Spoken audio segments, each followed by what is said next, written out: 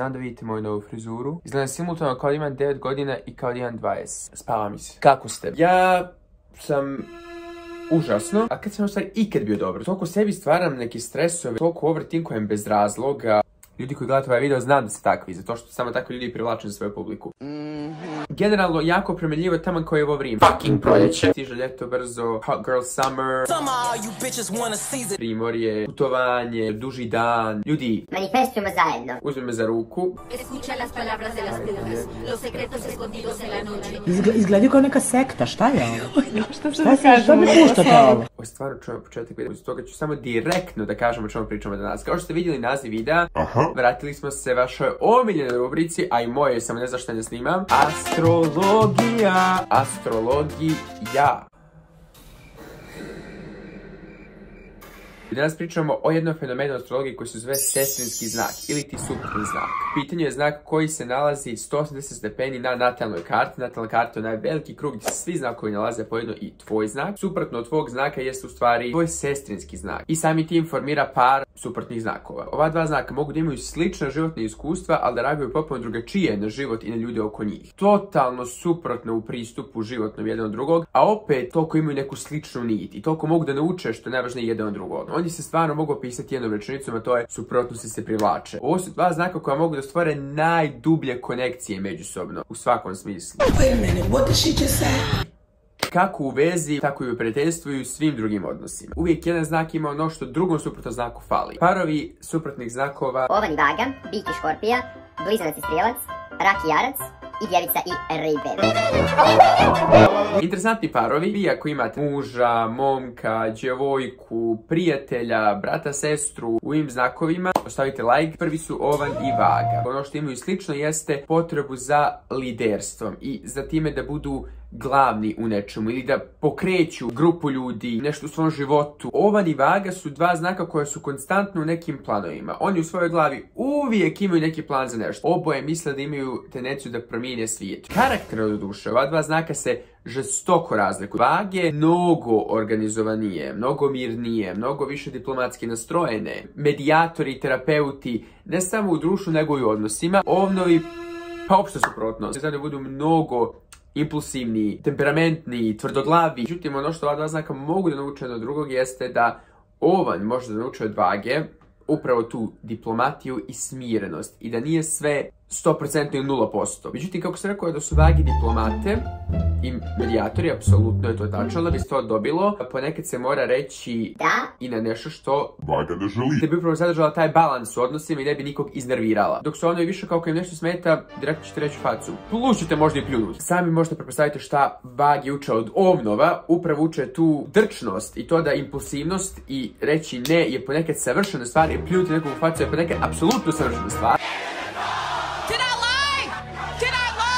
Ovdje od vaga uče da ne možeš to uvijek da radiš. Kao postoje neki kodovi ponašanja i međuljudskih odnosa. Jedni od najboljih parova, rekao bih, ljubavnih i često su ovo ljudi koji se vrlo lako privuku međusobno. Nekako mislim da su ovdje vaga u smislu sestrinskih i znakova pravi yin i yang jedno drugom. Bik i škorpije. Oba znaka su jako moćna i cijene i konstantno traže i jure za nekom moći, za nekim prestižom. Tu su naravno oboje slični. Međutim, način na koji dolaze do te moći su totalno različiti. Bik svoju moć dobija financijskom stabilnošću. U smislu, Bik je osoba koja, ako zna da ima dovoljno para da priušti sebi voljenima što god poželi i više od toga, ta će se Bik osjećati najmoćnije. To je jedna od implikacija zašto za Bikove kažu da su najbolji domaćini i da kod bika u kuću uvijek imaš da jedeš i da popiješ, nikad nećeš stati gladan. Ako oni tebi mogu da spreme da jedeš, ako mogu te ugostite fino, to je za njih moć prava. Skorpije je totalno drugačije. Oni svoju moć gledaju na više spiritualan način. Ne znam da li to ima smisla. Zato su škorpije dosta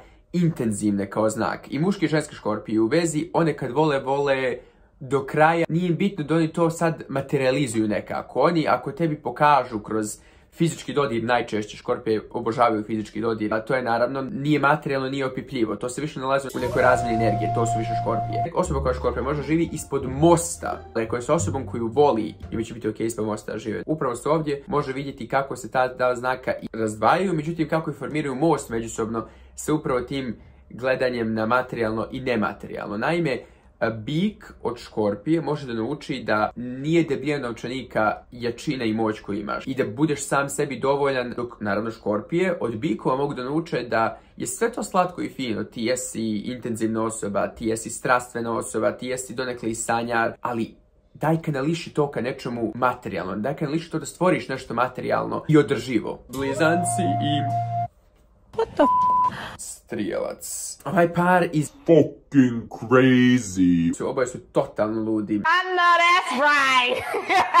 I ovo su možda dva najsličnija suprotna znaka. U kom smislu? Obožavaju promjenu. Blizanac obožava intelektualnu promjenu, ko sad voli da uči, da se nadograđuje, da nikamo nije dovoljno znanja i ljudskih konekcija. To su ljudi koji konstantno moraju da stvaraju nove prijatelje. Ja ne znam kako oni uspiju da izdrže. Oba znaka su jako, jako spontana, kako u pristupu u životu, tako i u međuljudskim odnosima. U smislu, danas ih ima, sutra ih nema.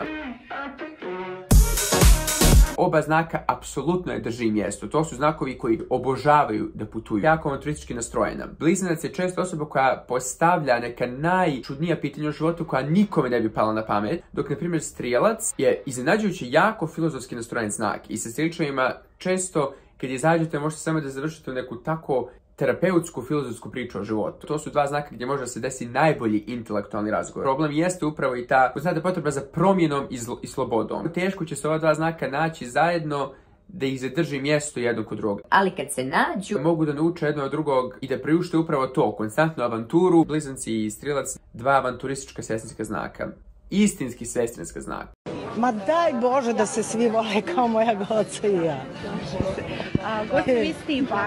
Rak i jarac. Jako, jako interesantna kombinacija. Oboje su veoma jaki znakovi, ali na totalno drugačiji aspekte. Oni žive i obožavaju sigurnost. Za to žive kod sebe, oni to pre svega žele da obezbide kod drugih ljudi s kojima su, ali kako? Rak će pružiti sigurnost u emotivnom smislu, dok će jarac se više truditi da pruži sigurnost u materijalnom i više konkretnijem smislu. I to upravo ide iz njihovog načina razmišljanja. Jarčevi razmišljaju jako logički. Oni logički dolaze do rješenja i logički rješavaju probleme. Dok su rakovi suprotno, rakovi srcem i emocijama razmišljaju i srcem i emocijama rješavaju svoje probleme. Mislim, suprotnost dva, dva znaka najbolje može opisati u onoj klasičnoj rečenici šta će da poslušaš, srce ili mozak gdje mozak predstavlja jarac, a srce predstavlja rak. To su njihove suprotnosti i naravno svi znamo da je rješenje upravo i no što mogu da nauče od drugog, to je srce treba da uči od mozga da ne bude previše naivno, tačnije rak treba da uči od jarca da ne treba biti toliko emotivno otvoren i da to možda nije najbolje za njega, dok jarac treba da nauči da ne treba biti toliko hladan i toliko zatvoren. Dok kod rakova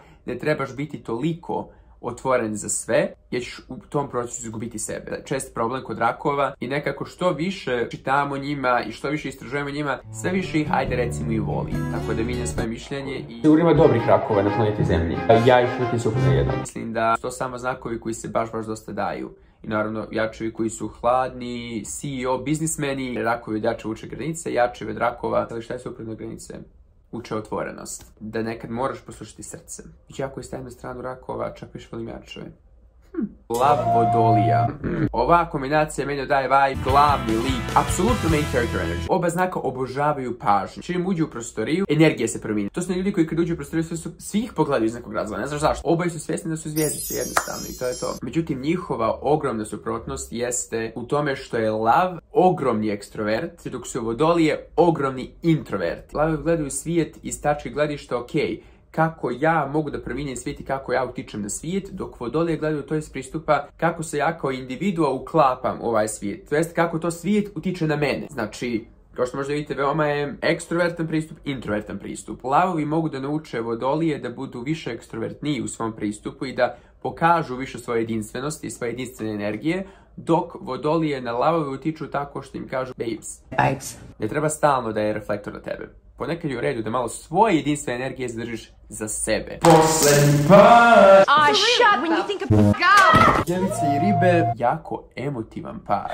Znam, znam, sad će svi reći Filipe, emotivne djevice, šta? Da, Da, actually. Well, yes. Jako, jako emotivan znak koji svoju ljubav ne pokazuje na tako konvencionalan način. Neće ti djevica reći volim te jako često, ali će ti donijeti ručku krevetu. Kupit poklon bez ikakvog razloga. Samo će konstantno imati neke drugačije naznake da to kompenzuju. Dok su ribe, na primjer, opšte suprotnost. Ribe će samo da ti govore volim te, volim te, volim te, volim te, svaki sekund. Djevice vole red i neku disciplinu, ribe su totalno suprotno. Ribe ne vole red i disciplinu. One vole kad je sve u haosu. Dok djevice su malo više, ja neću nikad sebi dozvoliti da dođem do tog levela haosa, ali ću konstantno nekako da potiskujem svoje emocije da toga ne bi došlo. Upravo u ovoj suprotnosti oni mogu emotivno baš da se dobro slažu i jedni i drugi izvlače dobre stvari. Koliko riba pomaže djevici da kanališe svoje emocije na otvoreno i na pravi način, to kod djevica ribi pomaže da se upravo ne daje toliko. Ko ribe su mnogo, mnogo djetinja znak, se ponašaju dosta djetinja su, dok se djevice ponašaju mnogo onako više odraslo, sređeno. I onda u toj nekoj dinamici mogu da vidim upravo taj odnos gdje djevice konstantno nekako štite i brane ribu. Jako su suprotni, možda jedni od najsuprotnijih znakova ovdje, ali kad se shvate međusobno, mislim ta veza može jako, jako, jako dugo da traje.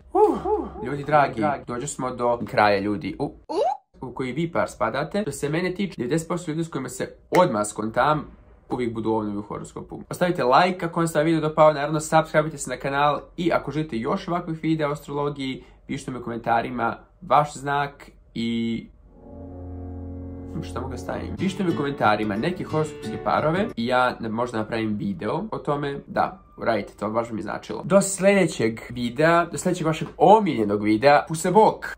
Bye!